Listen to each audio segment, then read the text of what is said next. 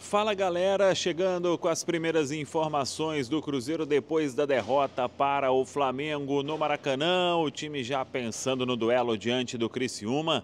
Quarta-feira tem volta importante, mas tem baixa importante também para este compromisso. Cruzeiro seguindo no Rio de Janeiro. Tudo isso você confere a partir de agora aqui no canal.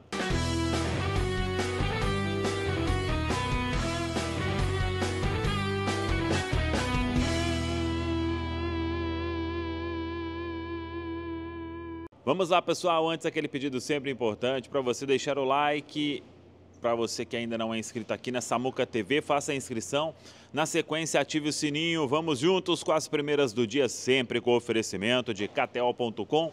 Na hora de apostar, de se divertir, de palpitar, KTO.com. Utilize o meu cupom Samuel, você terá 20% de bônus no valor do primeiro depósito. KTO.com, onde a diversão acontece para maiores de 18 anos. Jogue com responsabilidade. Derrota do Cruzeiro, 2 a 1 para o Flamengo. Cruzeiro fez um bom jogo, mas de novo voltando ou ficando sem o resultado jogando como visitante nesta Série A do Campeonato Brasileiro. É fato que o retrospecto precisa mudar e isso tem que ser quarta-feira diante do Criciúma, 8 horas da noite, estádio Heriberto Rilse em Criciúma, o Cruzeiro que segue aqui no Rio de Janeiro. O técnico Fernando Seabra deu as explicações para as opções que ele acabou escolhendo para começar a partida e confesso, tem até na análise aí, o Cruzeiro fez um bom jogo realmente, merecia uma sorte melhor, mas só isso não basta neste momento, se quiser brigar sempre na parte de cima da tabela. Claro que a partir do dia 13 de julho,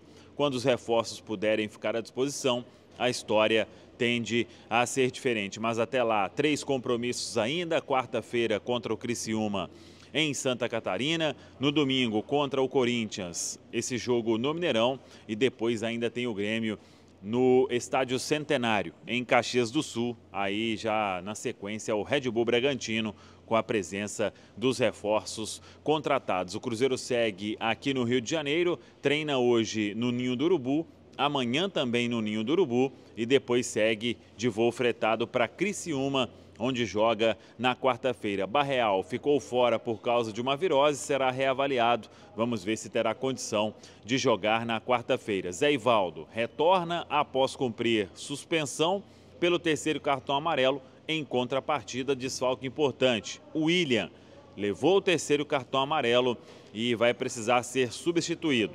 Gasolina e Palácios são as opções do técnico Fernando Seabra. Tá falado, pessoal?